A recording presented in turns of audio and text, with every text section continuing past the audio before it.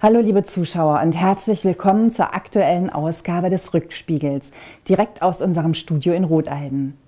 Diese Woche haben wir folgende Themen für Sie. Ferien- und Freizeitprogramm 2014.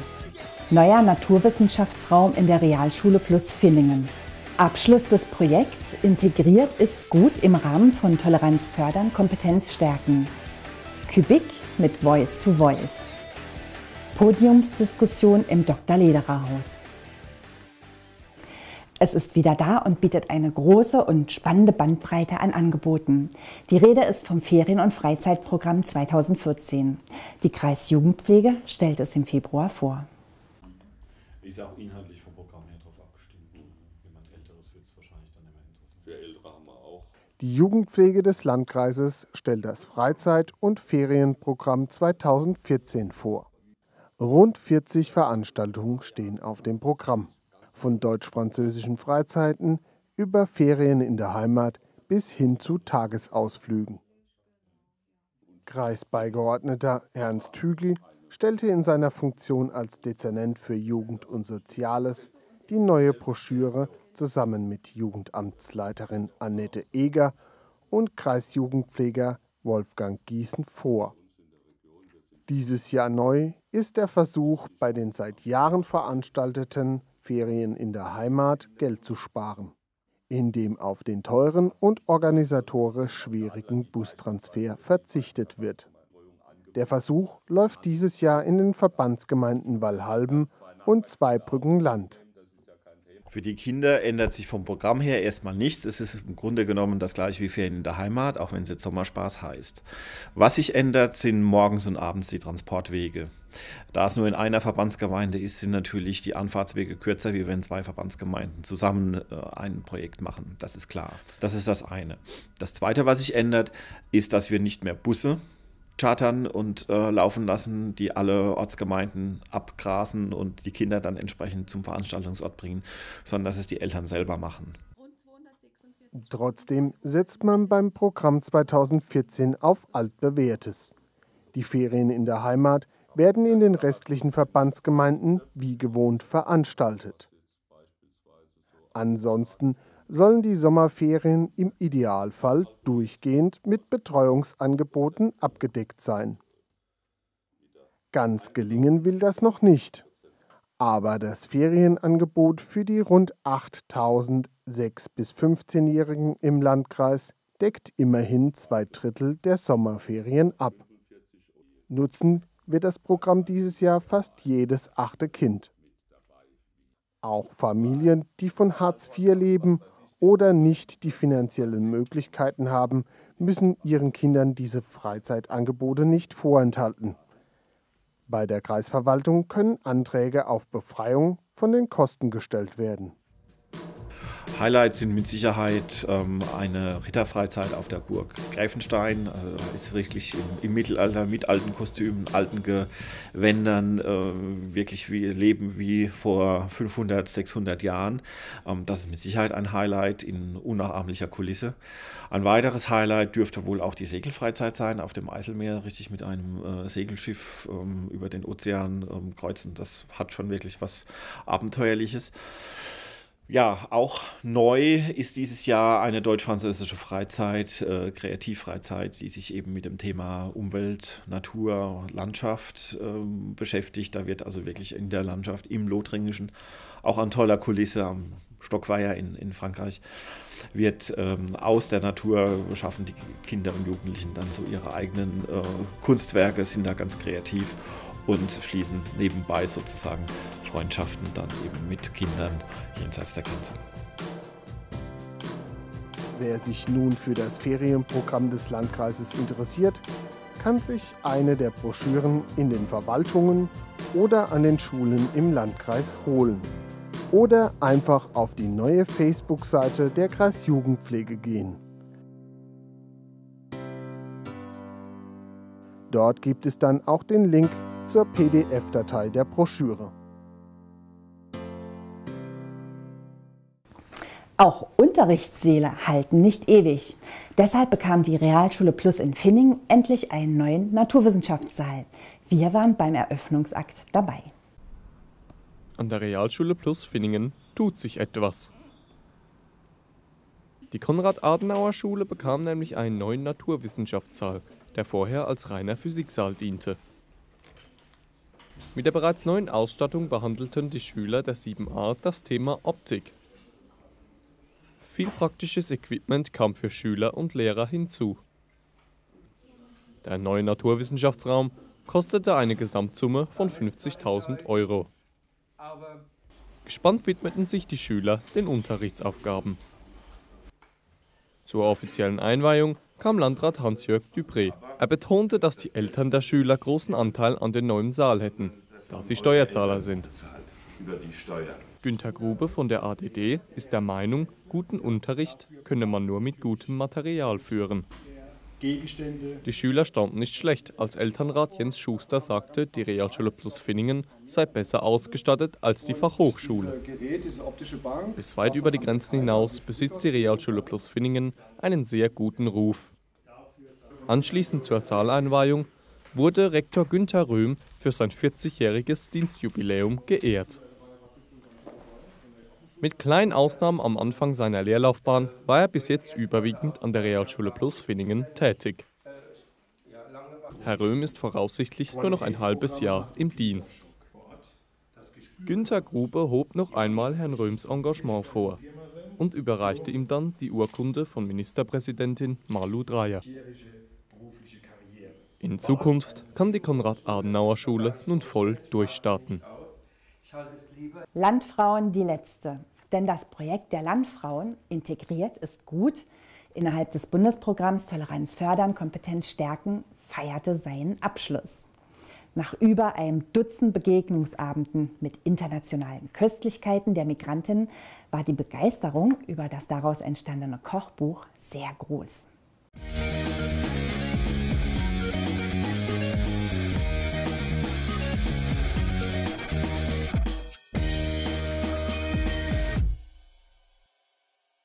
Migration ist eines der großen gesellschaftlichen Themen unserer Zeit. Und es hat viele soziale, kulturelle, ökonomische und politische Facetten. Einige dieser Facetten zeigte das Projekt der Landfrauen Integriert ist gut. Zur Abschlussveranstaltung des durch das Bundesprogramm Toleranz fördern, Kompetenz stärken geförderten Projekts waren rund 70 Frauen in der Sängerhalle Winsberg zugegen vereinzelt auch ein Mann. Einer dieser Gattungen kam dann sogar aufs Podium. Ernst Hügel, Vorsitzender des Begleitausschusses des lokalen Aktionsplans, wagte sich vor. Wenn man weiß, wo die Menschen herkommen, was sie, wie sie dort leben, was sie erzählen und wie es ihnen dort ergangen ist und wie es ihnen bei uns geht. Nur so kann man dann Toleranz auch annehmen und auch dann umsetzen. Und Toleranz beginnt an für sich bei uns hier drin im Kopf, bei jedem Einzelnen. Und wenn man dann eben im Gespräch die Kompetenz noch bekommt, darüber zu reden, ach, ich habe mit der, mit dem, mit jener geredet, die kommt dort und dort her, ich weiß, wie es dort zugeht, sie hat es mir gesagt. Wenn man das weiß und dann kennt, und dann erweitert man auch seinen eigenen Horizont und hat vielleicht auch die Lust, mal in ein anderes Land zu fahren. Viel wurde über die Begegnungsabende geredet. Heike Bispert, die bei allen Abenden dabei gewesen war, und die Beigeordnete der Stadt Pirmasens, Helga Knär, konnten dabei aus erster Hand berichten. Es wirkt wirklich, man hat einzelne Gesichter wieder erkannt, hat gedacht, das ist doch die Frau, die von da und da kommt, hat den Namen gewusst. Und ich denke, sobald die Menschen einen Namen haben und ein Gesicht, äh, sind sie einfach auch integriert und Ich denke, das ist was Wesentliches, was hier geleistet wurde. Und ich denke, wenn wir von Leistung sprechen, gehört natürlich den Landfrauen einen ganz großen Dank. Es gehört auch ein ganz großer Dank, dass wir überhaupt dieses Projekt Toleranz fördern, Kompetenz stärken mitmachen können.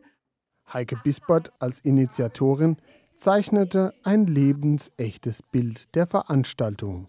In Kontwig leben 35 Nationen. Allein deshalb schon musste es hier eine zweite Begegnung mit Migrantinnen geben. Hier verblüffte mich eine Amerikanerin mit ungarischen Wurzeln. Sie brachte ihre typisch amerikanischen Leckerbissen zum Buffet und wollte wissen, wer ihr die Schüsseln wiederbringt. Sie können nicht bleiben, denn zu Hause erwarteten sie Gäste. Es war Thanksgiving. Und der Truthahn ist gleich fertig. Zum Glück blieb sie noch und stellte sich als erste der fünf Köchinnen unseren Fragen. Last but not least gab es für jede Teilnehmerin das Kochbuch. Es enthält alle Rezepte aller Veranstaltungen. So ist eine kulinarische Weltreise gemeinschaftlich entstanden. Das Kochbuch wird zukünftig bei den Landfrauen käuflich zu erwerben sein.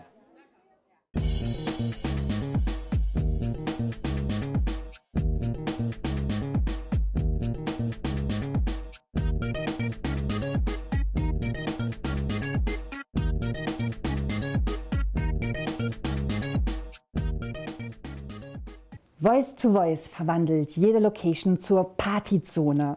Mit Sonja Betsch am Gesang bleiben keine musikalischen Wünsche offen. Ob Tina Turner, Pink oder Andrea Berg. Sonja hat es drauf. Michael Bixler, Multi-Instrumentalist und Sänger, sorgt für den musikalischen Groove der Band. Beide Musiker sind aus der Pirmasenser Musikszene nicht wegzudenken. Michael Bixler beherrscht seine Instrumente und ist nicht nur für Nichtmusiker das Maß der Dinge. Voice to Voice bieten ein musikalisches Programm, das in seiner Auswahl einzigartig ist. So die Eigenbeschreibung der Musiker, die diese Woche bei Kubik auftreten.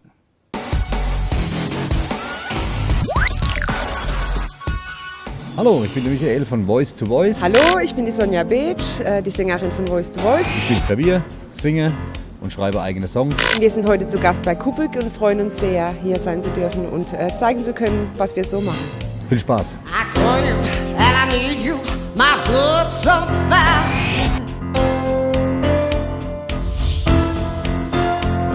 Yeah, come to me, come to me, wild and wild. To me, give me everything I need. Wir spielen alles Mögliche, also von Schlager, Rock, Pop, Soul, Jazz ist eigentlich alles dabei. Außer Heavy Metal, glaube ich, machen wir alles.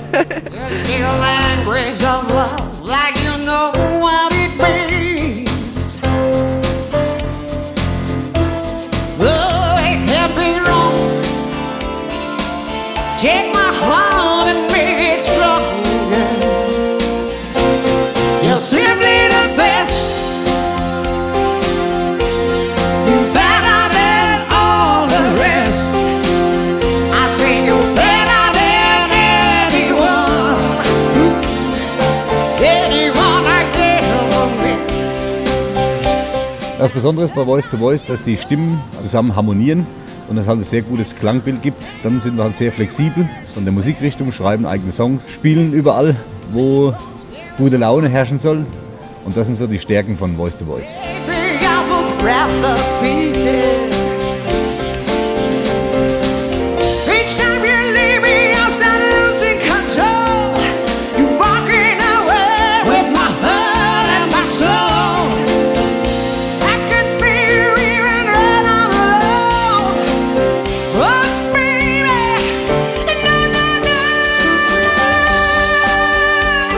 ist das erste Mal im Fernsehen. Allerdings haben wir ja schon ein Video gedreht ähm, zu unserem Lied Deine Flügel. Aber so mit Interview, das ist schon das erste Mal. Bin auch sehr aufgeregt.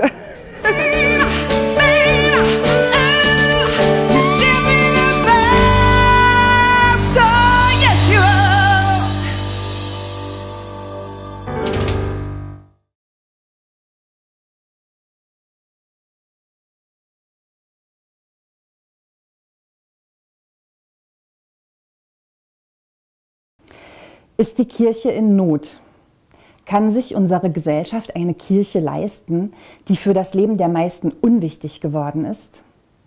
Und ist eine Kulturnation ohne organisierte Religion überhaupt denkbar? Zu diesen brisanten Fragen hatte die Kreisvolkshochschule nach Rotalben ins Dr. Lederer Haus eingeladen. Bei dem brandaktuellen Thema ging es nicht nur um innerkirchliche Probleme, auch Probleme zwischen den Kirchen und den Gläubigen wurden erörtert. Kirchen sind immerhin Hüter der Gesellschaftsnormen und Werte. Sollten die Kirchen weiterhin dramatisch an Zuspruch verlieren, was würde dann mit unserer modernen Gesellschaft geschehen? Es würde doch alles seinen gewohnten Gang gehen. Wir sind doch zivilisiert genug. So kam es zu Fragen wie, brauchen wir Kirche, wenn sich zwei Drittel der Deutschen vom Christentum abwenden? Und funktioniert unsere Kultur ohne Kirche? Professor Dr. Erich Daunhauer wies darauf hin, dass nicht nur Kriege Gesellschaften zerstören können. Das ist einmal, indem man das Geldwesen zerstört in einer Nation, in einer Kultur. Dafür nenne ich das Beispiel Deutschland in der ersten Hälfte des, des 20. Jahrhunderts. Nicht? Da ist das Geldwesen zerstört worden und was daraus geworden ist, muss ich ja nicht einzeln weiter erläutern. Udo Sopp, evangelischer Kirchenrat, ging als ambitionierter Protestant zunächst auf die Unterschiede zwischen dem evangelischen und katholischen Dasein ein. Weiterhin zählte und erläuterte er Kritikpunkte an den Kirchen. Pfarrer der katholischen Kirche Dr. Hans-Peter Arendt verschwieg nicht, dass die Kirche durchaus Fehler macht. Das Vorschussvertrauen der Menschen in die Kirchen kann dadurch natürlich leiden. Aber er zeigte anhand eines Zitats von Papst Franziskus, wie Kirche sein sollte. Mir ist eine verbeutelte Kirche, die verletzt und beschmutzt ist, weil sie auf die Straßen hinausgegangen ist, lieber als eine Kirche, die aufgrund ihrer Verschlossenheit und ihrer Bequemlichkeit sich an die eigenen Sicherheiten zu klammern, krank ist. Er sagt also, das kann krank machen, wo wir nur bei den eigenen Sicherheiten stehen bleiben wollen. Und er betont, es geht auch um die Bereitschaft, auf diesem Weg zu den Menschen hin Fehler zu machen. Die vollständige Veranstaltung können Sie demnächst hier im OKTV Südwestpfalz sehen. Und damit verabschiede ich mich und wünsche Ihnen noch viel Spaß mit den nachfolgenden Sendungen. Bis nächste Woche. Tschüss.